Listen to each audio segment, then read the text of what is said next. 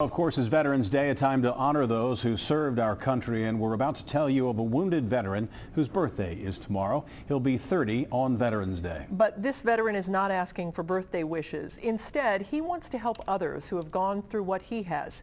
And as Local 12 News reporter Jeff Hirsh shows us, there's a simple new medical test which can do just that.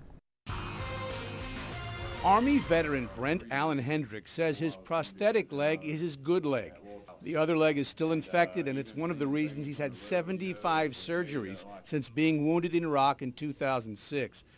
But ask him what is tougher to deal with, physical injuries or emotional ones, the answer is immediate. The emotionals.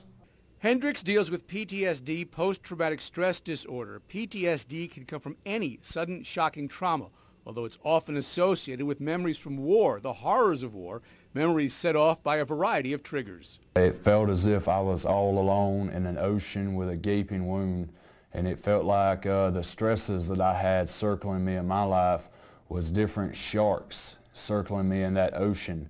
One of the things they have found here is that if you have PTSD or if you're depressed for any other reason, it can take a while for the proper medications to work.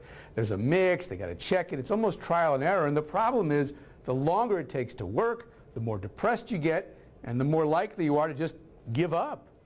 But now there's a much faster solution, a genetic test, a simple swab of both cheeks. And within 36 hours, there's an answer for the clinician over a secure web-based portal. That genetic DNA information lets doctors know much more quickly which medications to prescribe and which ones to avoid. Everyone is different based upon obviously the makeup that your parents give you. And that difference can actually cause you, you to respond completely differently to a medication than the person from a different family. And if with genetic testing and things like this uh, for a way to people better understand one another would be a, uh, a positive direction we all need to go to as a, as a country. And as Brent Hendrix knows, when you're suffering emotionally, getting help is just as important to recovery as having surgery. Jeff Hirsh, Local 12 News.